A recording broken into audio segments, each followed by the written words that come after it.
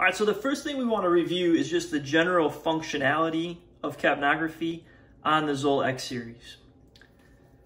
So whether you're using an inline adapter for your cardiac arrest and vent patients,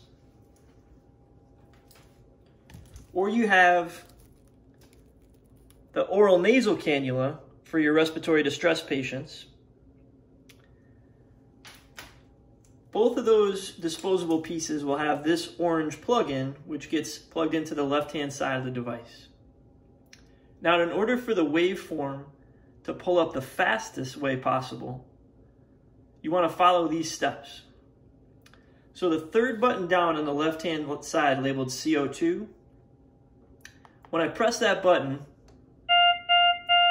the machine beeps at me, the yellow light flashes up here, and you hear the pump start up for a second. What the machine has now just realized is that there's not a disposable piece plugged in, and the message up here, filter line not connected, reminds me to go ahead and plug that disposable piece in. So you want to take the end of this. There's a door in the left-hand pocket that moves up and down. So the easiest way is to take just the tip of this adapter, move that door down, and turn it clockwise until you feel it stop.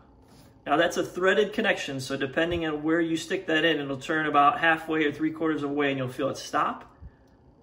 And immediately then you'll hear the pump start up.